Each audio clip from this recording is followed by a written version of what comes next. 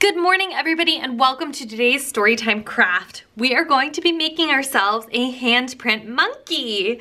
We learned about all sorts of zoo animals today and now we're going to make our own zoo animal to take at home. And this one we do not have to return back to the zoo like old MacDonald. In order to make it you are going to need a couple of things at home. Um, I personally recommend using finger paint to make the monkey's body if you don't wanna do that, you can do what I did here and just trace out your hand and then cut it out with a pair of scissors. So I've done that here.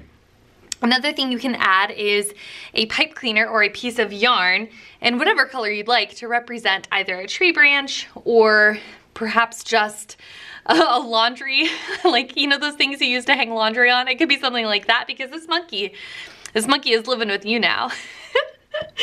okay, we also are gonna need some paper.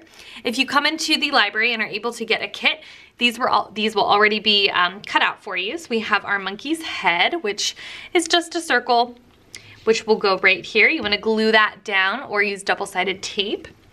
You're also going to need some ears.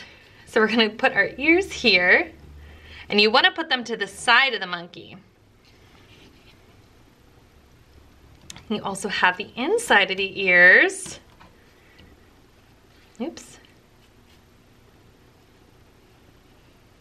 So there's one. And then here is the other ear.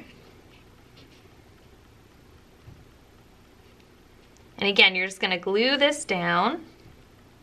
Oh, he's so cute. And then last but not least, the mouth. So it's up to you if you want to draw a face on it or, ooh, we could use some googly eyes to finish off our monkey. So we have one here and then one here.